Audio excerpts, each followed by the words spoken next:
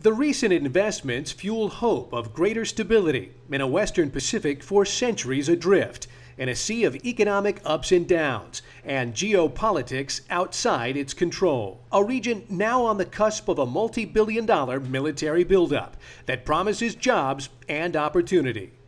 Case in point, $40 billion, 152 year old Japan conglomerate Itochu Corporation has just purchased a 25% stake in Guam based Shell franchisee Isla Petroleum and Energy. The acquisition brings a depth that can help IP&E weather volatile energy markets and a reach that could propel the company into job-creating ventures from the Philippines to Hawaii. And uh, what this deal really did for us is that, you know, since they are a very big trading company, I feel a lot more comfortable that no matter what happens, we will be able to weather the storm. Right.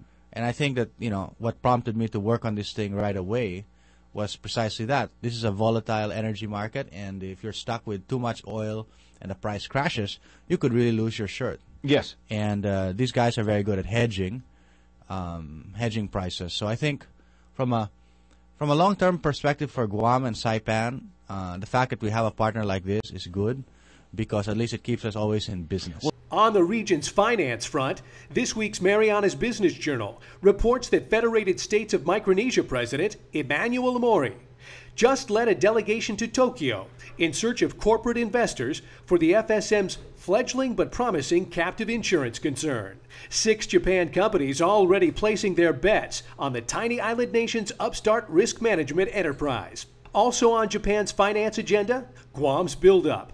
Yomiuri Shimbun reports that Deputy Defense Minister Jun Azumi is recommending that Japan dedicate part of its FY11 budget to finance sewage treatment upgrades in northern Guam before U.S. Marines are restationed here from Okinawa.